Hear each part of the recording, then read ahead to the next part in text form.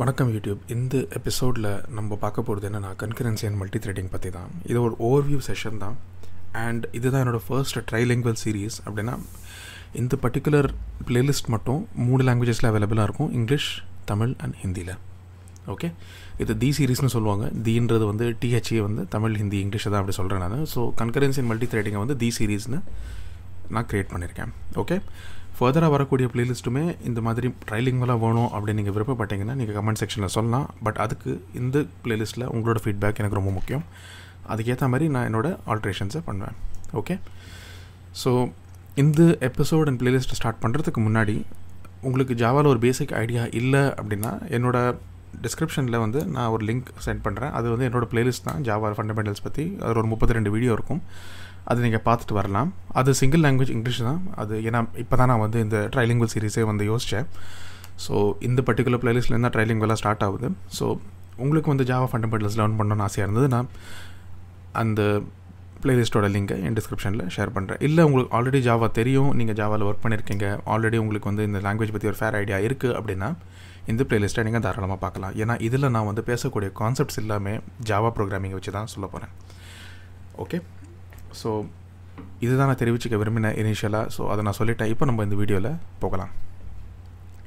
Concurrency and multi threading in ஜாவான்ற concept வந்து Java விட்டுருங்க. இப்போ first concurrency and multi threading என்னன்றதை அண்டர்ஸ்டாண்ட் பண்ணுவோம்.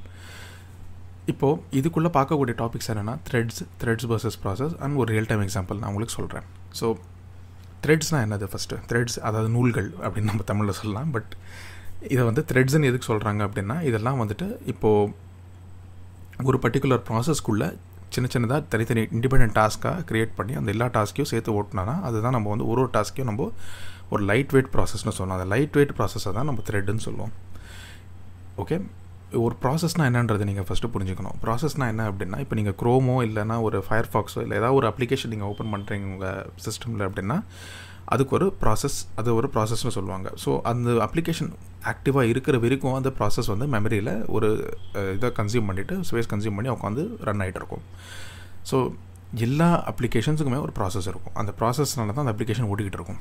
ஓகே ஸோ அதை தான் நம்ம ப்ராசஸ்னு சொல்கிறோம் அது நம்ம பண்ணக்கூடிய வேலைகள்லாம் அது வந்து இன்புட் அவுட்புட் எடுத்து அதை ரெஸ்பாண்ட் பண்ணி உங்களுக்கு என்ன நீங்கள் பண்ணணும்னு நினைக்கிறீங்களோ அதை எக்ஸிக்யூட் பண்ணி கொடுக்கும். ஓகே இப்போது அதை எக்ஸிக்யூட் பண்ணி கொடுக்குது இல்லையா? அது வந்து பண்ணுறதுக்கு வந்து உள்ளுக்குள்ளே சப்டாஸ்க்காக பிரித்து அந்த வேலையை பார்க்கலாம். அந்த மாதிரி சப்டாஸ்க்காக பிரிக்கிறச்சு என்ன ஆகும்னா அது ஒரு ஒரு த்ரெட்டுக்கிட்டையும் கொடுத்து எக்ஸிக்யூட் பண்ண சொல்லலாம். ஸோ அதில் தான் த்ரெட்ஸுன்ற கான்செப்ட் வருது. அதாவது ஒரு ப்ராசஸே வந்து உள்ளுக்குள்ளே ஒரு நாலஞ்சு த்ரெட்ஸை வந்து எக்ஸிக்யூட் பண்ணி கொடுக்கும் சில விஷயங்களை. ஓகே அந்த மாதிரி இருக்கிறச்சு த்ரெட்ஸ் என்ன பண்ணும் அப்படின்னா ப்ராசஸோட மெமரியை வந்து அதை ஷேர் பண்ணிக்கும். ஸோ எல்லா த்ரெட்ஸுமே சேம் மெமரியை ஷேர் பண்ணும். சேம் ஸ்டாக் சேம் ரெஜிஸ்டர்ஸை ஷேர் பண்ணிப்போம். ஸ்டாக் ரெஜிஸ்டர்ஸ் வந்து internal to operating system so அந்த இதெல்லாமே வந்துட்டு த்ரெட்ஸை வந்து ஷேர் பண்ணி எக்ஸிக்யூட் பண்ணும். ஒரு ப்ராசஸும் இன்னொரு ப்ராசஸும் சேம் மெமரி ஷேர் பண்ணாது. ஏன்னா ஒரு ப்ராசஸ் ஸ்பான் ஆகிடுச்சுன்னா இப்போ க்ரோமி எக்ஸ் நீங்கள் ஓப்பன் பண்ணிங்கன்னா மெமரியில் ஒரு பர்டிகுலர் போர்ஷன் அது எடுத்துக்கும். அதே மாதிரி இன்டெலிஜென்ட் ஐடியா இருந்தீங்கன்னா அது வந்து மெமரியில் ஒரு போர்ஷனை எடுத்து எக்ஸிக்யூட் பண்ணிகிட்ருக்கும் ஓகே ஸோ இவங்க ரெண்டு பேரும் ஒரே மெமரியை ஷேர் பண்ணுவாங்கன்னு கேட்டிங்கன்னா இல்லை. வேறு வேறு மெமரி வந்து அலோகேட் ஆகும் ரெண்டுத்துக்குமே. ஆனால் இன்டெலிஜென்ட் ஐடியாக்குள்ளேயே இப்போ நீங்கள் ரெண்டு மூணு விஷயங்கள் பண்ணுறீங்க அதெல்லாம் த்ரெட்ஸுக்கு அசைன் ஆயிருந்தது அப்படின்னா அந்த எல்லா த்ரெட்டும் இன்டெலிஜென்ட் ஐடியா எடுத்துகிட்டு இருக்கிற மெமரியை ஷேர் பண்ணிக்கும்.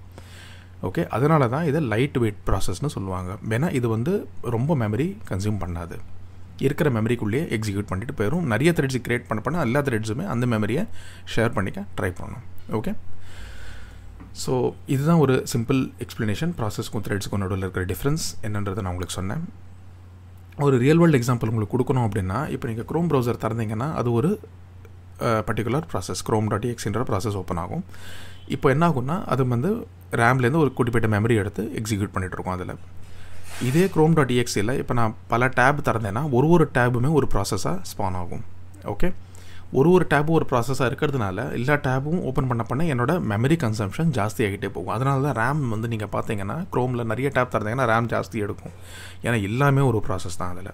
ஓகே ஸோ இதுக்கு எக்ஸாக்ட் ஆப்போசிட்டான ஒரு இம்ப்ளிமெண்டேஷன் தான் ஃபயர் ஃபாக்ஸ் ப்ரௌசரில் பண்ணியிருப்பாங்க நீங்கள் ஃபயர் ஃபாக்ஸ் ப்ரௌசர் ஓப்பன் பண்ணிங்கன்னா அதுவும் ஒரு ப்ராசஸ் தான்.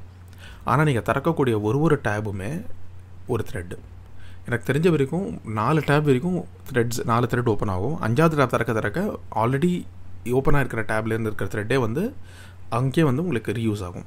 ஸோ அதனால் இதுவும் வந்து ரியூசபிலிட்டின்ற கான்செப்டை பேஸ் பண்ணி தான் இருக்கேன் இதை பற்றி நம்ம டீட்டெயிலாக வந்து வ வரக்கூடிய வீடியோஸில் பார்க்க போகிறோம் பட் இப்போ நான் ஒரு ஜென்ரல் ஓவியனால சொல்கிறேன் ஃபயர்ஃபாக்ஸில் ஒரு ஒரு டேபுமே ஒரு த்ரெட்டு இதில் டிஃப்ரென்ஸ் என்ன வரும்னா ஃபயர்ஃபாக்ஸ் வந்து மெமரி கம்மியாக கன்சியூம் பண்ணும் ஃபாஸ்டராகவும் இருக்கும். வேற க்ரோம் வந்து போக போக கொஞ்சம் ஸ்லோவாயிரும் நீங்கள் நிறைய டேப்ஸ் திறந்தீங்கன்னா.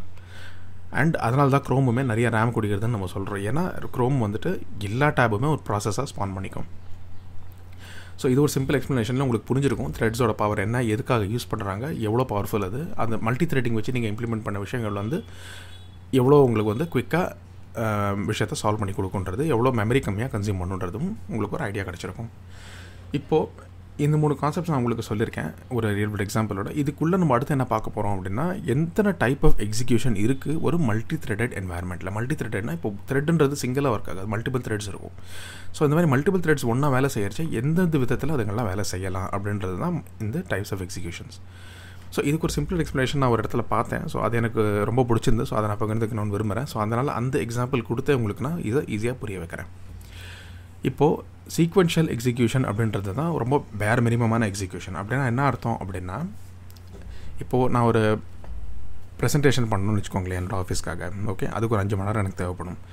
பட் ஆனால் அன்றைக்கே வந்து எனக்கு பாஸ்போர்ட் ஆஃபீஸ்லேயும் கூப்பிட்ருக்காங்க பாஸ்போர்ட் ரெனியூ பண்ணுறதுக்கு உங்களுக்கே தெரியும் பாஸ்போர்ட் ஆஃபீஸில் லைன் நிற்கும். வெயிட் பண்ணி நம்ம ரெனியூ பண்ணிட்டு வரணும்.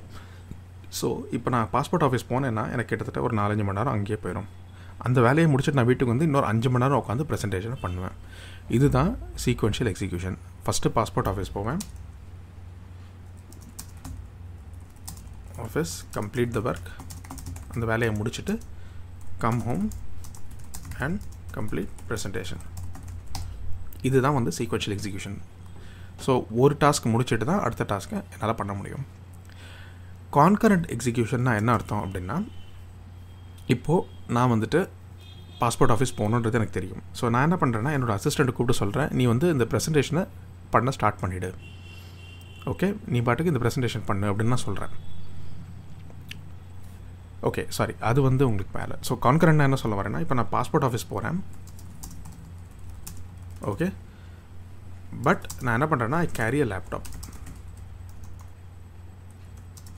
இப்போ நான் என்ன பண்ணுவேன்னா ஆஃபீஸில் போய்ட்டு அந்த பாஸ்போர்ட் ஆஃபீஸ் லைனில் வெயிட் பண்ணுறச்சே வந்துட்டு நான் வந்து என்னோடய ப்ரெசன்டேஷனை பண்ண ஸ்டார்ட் பண்ணிவிடுவேன் ஸோ என் பாஸ்போர்ட் ஆஃபீஸில் வெயிட்டிங் டைம் அப்போது நான் என் ப்ரெசன்டேஷன் ஒர்க் பண்ணிகிட்ருக்கேன் என்னை இன்னும் கூப்பிடல பாஸ்போர்ட் ஆஃபீஸ் என் டர்ன் வரல இன்னும். So as soon as my turn comes I pass the presentation presentation ஒர்க்கை பாஸ் பண்ணிவிட்டு என் turn கூப்பிடுச்சு attend the passport verification okay அந்த வேலையை நான் பண்ணுவேன். ஸோ லேப்டாப் கொண்டு போயிட்டு நானே என்ன பண்ணுறேன்னா என் ப்ரெசன்டேஷனில் ஒர்க் பண்ணுறேன் பட் என்னோடய டேர்ன் பாஸ்போர்ட் ஆஃபீஸில் வந்து என்னை கூப்பிடுச்சு. என் ப்ரெசன்டேஷன் ஒர்க்கை பாஸ் பண்ணிவிட்டு பாஸ்போர்ட் வேலையை முடிக்கிறேன். முடிச்சுட்டு வந்த உடனே திருப்பி வெயிட் பண்ண சொல்கிறாங்க அப்படின்னா அந்த டைமில் திருப்பி என் ப்ரெசன்டேஷனை ரெசியூம் பண்ணி நான் ஒர்க் பண்ணுறேன் இதுக்கு பேர் தான் concurrent execution by the same person அதாவது நான் ஒரு ஆள் தான் இதை பண்ணுறேன் நானே வந்து பாஸ்போர்ட் ஆஃபீஸ் ரெனியூவல்லையும் உட்காந்துருக்கேன் அட் த சேம் டைம் நானே என்னோடய ப்ரெசன்டேஷன்லையும் வேலை பண்ணுறேன் இதை கன்கரண்ட் எக்ஸிக்யூஷன் சொல்லுவாங்க. எனக்கு தெரிஞ்சு கொஞ்சம் ஸ்பேஸ் விட்டுக்கலாம். நான் நிறைய விஷயம் நம்ம எழுதியிருக்கோன்றதுனால கன்ஃபியூஷன் வரும். ஓகே பட் நான் இங்கேயே மறந்துட்டேன் பாருங்க. இப்போ நான் என்ன அர்த்தம் அப்படின்னா இது இதுக்கு முன்னாடி நான் கொடுக்க எக்ஸாம்பிள் ட்ரை பண்ணல நான் தப்பாக சொல்ல வந்துட்டேன் பை மிஸ்டேக் ஸோ பேரலெல்லாம் என்ன அர்த்தம் அப்படின்னா நான் பாஸ்போர்ட் ஆஃபீஸ் போகிறதுக்கு முன்னாடி அசிஸ்டண்ட் கூப்பிட்டு சொல்ல நீ ப்ரெசன்டேஷனில் ஒர்க் பண்ண ஸ்டார்ட் பண்ணிவிட்டு நான் ஆஃபீஸ் கிளம்புறேன். பாஸ்போர்ட் ஆஃபீஸ் போயிட்டு வரேன். நீ அதுக்குள்ளே ஓரளவுக்கு ஒரு டிராஃப்ட் ப்ரிப்பேர் பண்ணி வை நான் வந்துட்டு அது வந்து செக் பண்ணிவிட்டு வேலிடேட் பண்ணி நான் கம்ப்ளீட் பண்ணிக்கிறேன் அப்படின்னு சொல்கிறேன் assistant and I work on presentation and passport job in parallel அதாவது அசிஸ்டண்ட் கிட்ட நான் சொல்லிவிட்டு நான் கிளம்பின உடனே அவனும் வேலையை ஸ்டார்ட் பண்ணிவிடுவான் ஸோ அவன் பாட்டுக்கு அந்த ப்ரெசன்டேஷனை வேலை பண்ணிட்டு இருப்பான். நான் பாட்டுக்கு பாஸ்போர்ட் ஆஃபீஸில் லைனில் வெயிட் பண்ணி ரெனியூவலுக்கு முடிச்சுட்டு போவேன். ஸோ இந்த பர்டிகுலர் வேலை நடக்கிறச்சே அசிஸ்டண்ட் என்ன கால் பண்ண மாட்டான் எதுவும் கேட்க மாட்டான். என்ன பண்ணணும் எது எது எல்லாமே அவனுக்கு தெரியும். அவனே ஃபுல்லாக முடிச்சுட்டு டிராஃப்ட் க்ரியேட் பண்ணி எனக்கு மெயில் பண்ணிட்டு போயிடுவான். வீட்டுக்கு வந்துட்டு நான் செக் பண்ணுறச்சு ஓகே இது வந்து இவ்வளோ பண்ணியிருக்கான். இதில் ஏதாவது எடிட்டிங் இருந்ததுன்னா நான் அதை லைட்டாக அந்த எடிட்ஸ் எல்லாம் பண்ணிவிட்டு ஒரு ஒன் ஒன்று ரெண்டு மணி நேரத்தில் முடிச்சு அந்த ப்ரெசன்டேஷனை சப்மிட் பண்ணுவேன். ஸோ இப்போ நானே தனியாக உட்காந்து ரெண்டு வேலையும் பார்க்குறது வேறு. ஒரு அசிஸ்டண்ட் வச்சு இந்த வேலையை பார்க்க சொல்லிட்டு நான் என்னோட பாஸ்போர்ட் ஆஃபீஸ் வேலையை பார்க்க சொல்கிறது வேறு. ஸோ இதுதான் பேரலல் எக்ஸிக்யூஷன் சொல்லுவாங்க. ரெண்டு பேர் இங்கே இன்வால்வ் ஆகிறாங்க ஒன்று அசிஸ்டண்ட் ஒன்று நான். ரெண்டு பேரும் ரெண்டு டிஃப்ரெண்ட் டாஸ்க்காக அக்கம்ப்ளிஷ் பண்ண ட்ரை பண்ணுறோம் ரெண்டு பேரும் ஒரே நேரத்தில் ஆரம்பிக்கணும். இவனும் ஆரம்பிச்சிருவான் நானும் வந்து பாஸ்போர்ட் ஆஃபீஸ் கிளம்பி இப்போ இதையே வந்து நம்ம ரெண்டு விஷயத்தையுமே கம்பைன் பண்ண வச்சுக்கோங்களேன். கன்கரண்ட் வித் பேரலல் அப்படின்றது தான் நாலாவது டிஃப்ரெண்ட் எக்ஸிக்யூஷன் இது என்ன அர்த்தம் அப்படின்னா நான் பாஸ்போர்ட் ஆஃபீஸ் போகிறேன் இல்லையா? நான் பாஸ்போர்ட் ஆஃபீஸ் போகிறச்சே நான் என்ன சொல்கிறேன் I carry laptop with me so இந்த கேஸ்லேயும் நான் பாஸ்போர்ட் ஆஃபீஸ் போகிறேன் I carry laptop with me okay நான் அதே மாதிரி அசிஸ்டண்ட்டையும் வந்துட்டு ப்ரெசன்டேஷனில் ஒர்க் பண்ண சொல்கிறேன் so assistant and I work on presentation so அவன் வந்து ப்ரெசன்டேஷன் பண்ண ஸ்டார்ட் பண்ணிவிடுவான் அவன் பண்ண பண்ண என்னால் பேரலாக அந்த இதையும் பார்க்க முடியும். வெயிட் பண்ணிட்டு இருக்காச்சு. அதான் பாஸ்போர்ட் ஆஃபீஸில் நான் டர்னுக்கு வெயிட் பண்ணுறச்சு ஏன் லேப்டாப் வழியும் அவன் பண்ணுறது என்னால் பார்க்க முடியும். பார்க்க பார்க்க அவனுக்கு சில எடிட்ஸும் நான் சஜஸ்ட் பண்ணி அனுப்பி விடுவேன். ஓகேவா அவன் பண்ணிட்டு இருப்பான். அவனுக்கு எதாவது எடிட்டிங் பண்ணால் அனுப்பிச்சி விடுவேன் சஜஸ்ட் பண்ணுவேன். ஸோ இதனால் என்ன ஆகும் அப்படின்னா அதான் அது எது மாதிரி என்னோட டேர்ன் வரைச்சு நான் இந்த வேலையை ஸ்டாப் பண்ணிட்டு என் பாஸ்போர்ட் டியூட்டியை பார்ப்பேன். இவன் பாட்டுக்கு வேலை பண்ணிட்டு இருப்பாங்க ஸோ இதுக்கு பேர் தான் வந்துட்டு கன்கரண்ட் வித் பேரலர்னு சொல்லுவாங்க. ஸோ இதோட அட்வான்டேஜ் என்னென்னா நான் வீட்டுக்கு வந்ததுக்கப்புறம் எனக்கு ஒரு பாஞ்சு நிமிஷம் இருந்தால் போதும். ஏன்னா பிகாஸ் இவன் ஒர்க்கை நான் ஆல்ரெடி நான் லைவாக பார்த்துருக்கேன். காலையிலேருந்து வெயிட் பண்ணுறச்சு ஸோ அதனால் எனக்கு தெரியும் இவன் என்ன ஒர்க் பண்ணியிருக்கான் அப்படின்ட்டு. அதனால எனக்கு ஒரு ஃபிஃப்டீன் மினிட்ஸ் இருந்தால் போதும். ஒரு கிளான்ஸ் பண்ணி என்ன எடிட்டிங் பண்ணுவோம் பண்ணி I will send presentation so இதுதான் வந்து கான்கரண்ட் வித் பேரலல் இப்போது என்னையும் அசிஸ்டண்ட்டையும் நீங்கள் த்ரெட்டால் ரீப்ளேஸ் பண்ணிக்கலாம். ஸோ த்ரெட்ஸோட வேர்ல்ட்லையும் இதுதான் நடக்கும். சீக்வென்ஷியலாக இருக்குன்னா ஒரு ஒரு த்ரெட் வந்து ஒரு விஷயத்தை எக்ஸிக்யூட் பண்ணி அது முடிச்சதுக்கப்புறம் அடுத்த விஷயத்தை எக்ஸிக்யூட் பண்ணும். கான்கரண்ட்டாக இருக்கிறச்சே ஒரு த்ரெட் இருந்தது அப்படின்னா அந்த த்ரெட் வந்து ஒரு பர்டிகுலர் வேலையை பண்ணிகிட்ருக்கும் நடுவில் இன்னொரு வேலை வரைச்சு இந்த வேலையை பாஸ் பண்ணிவிட்டு இது பேர் கான்டெக்ட் ஸ்விட்சிங்னு சொல்லுவாங்க. இந்த வேலையை பாஸ் பண்ணிவிட்டு அந்த வேலைக்கு போய்ட்டு அதை முடிச்சுட்டு திருப்பி இந்த வேலைக்கு வரும் அது. இதுக்கு பேர் கான்டெக்ட் ஸ்விட்சிங்கான சேம் த்ரெட்னு சொல்லுவாங்க. ஒரே த்ரெட் வந்து இந்த வேலையை பார்க்கும். பேரலல்னால் இப்போ ரெண்டு த்ரெட்டு என்ன பண்ணும்? பேரலாக ஒரு ஒர்க் ஒர்க்கை ஸ்டார்ட் பண்ணிக்கும். ஸோ ஒரு த்ரெட் வந்து ஒரு வேலை பண்ணி இன்னொரு த்ரெட் இன்னொரு வேலை பண்ணும் ரெண்டு பேருமே பேரலாக வேலை பண்ணிட்டு இருப்பாங்க. ஒருத்தர் ஒருத்தர் இன்டரப்ட் பண்ணிக்க மாட்டாங்க. ஓகேவா இவன் முடிச்சதுக்கப்புறம் இவன் பாட்டுக்கு போயிட்டே இருப்பான். இவன் வந்து முடிச்சிட்டானா இதுக்கப்புறம் இவனோட அவுட்புட்டை அவன் பார்த்துக்கலாம் ஒன்று ஓகேவா பட் ரெண்டு பேரும் இண்டிபெண்ட்டாக ஒர்க் பண்ணுவாங்க. கான்கரண்ட் வித் பேரல்னால் ரெண்டு பேரும் இண்டிபெண்ட்டாக கம்ப்ளீட்டாக ஒர்க் பண்ண மாட்டாங்க. அதாவது என்ன அர்த்தம் அப்படின்னா இந்த ப்ரெசன்டேஷன் ஒர்க்கை நானும் பண்ணலாம் என் அசிஸ்டண்ட்டும் பண்ணலாம். ஸோ என் அசிஸ்டன்ட் பண்ணிகிட்டு இருக்கான் நான் அவனுக்கு சஜஷன்ஸ் கொடுக்குறேன். ஸோ அந்த வேலையும் நான் பார்க்குறேன். அட் த சேம் டைம் என்னோட பாஸ்போர்ட் ஆஃபீஸ் வேலையை அது வந்து என்னோட பர்டிகுலர் uh, வேலை. ஸோ அதையும் நான் வந்து தனியாக பார்த்துட்ருக்கேன். ஸோ இந்த கேஸில் கான்கரண்ட் வித் பேரல் அப்ளை பண்ணுறச்சு என்ன ஆகும்னா இந்த சஜஷன்ஸ் நம்ம கொடுக்கறதுனால நம்மளோட வேலை அதாவது அதை ரிவ்யூ பண்ணக்கூடிய வேலை வந்து குறைஞ்சிரும். அதனால் நான் சீக்கிரம் இன்னும் சீக்கிரம் வந்து முடிக்க முடியும். ஸோ இது வந்து ஒரு ஐடியலான ஒரு எக்ஸிக்யூஷன் அது கன்கரண்ட் வித் பேரலன்றது ஓகே ஸோ இந்த வீடியோவில் இவ்வளோ தான் நான் சொல்ல விருப்பப்பட்டேன். ஸோ இதை நான் சொல்லிட்டேன். இந்த வீடியோ உங்களுக்கு பிடிச்சிருந்தா லைக் பண்ணுங்கள் ஷேர் அண்ட் சப்ஸ்கிரைப் பண்ண மறந்துடாதீங்க. அண்ட் கோட் வித் அன்னைக்கு நியூவாக இருக்கீங்க அப்படின்னா உங்களுக்கு ஜாவா கற்றுக்கணுன்னா என்னோட ஒரு பிளேலிஸ்ட் இருக்குது அதையும் நான் லிங்க்கில் டிஸ்கிரிப்ஷனில் போடுறேன். நீங்கள் ஒன்று செக் பண்ணி பார்த்துக்கோங்க. ஸோ உங்களை அடுத்த வீடியோவில் நான் சந்திக்கிறேன். Bye take care guys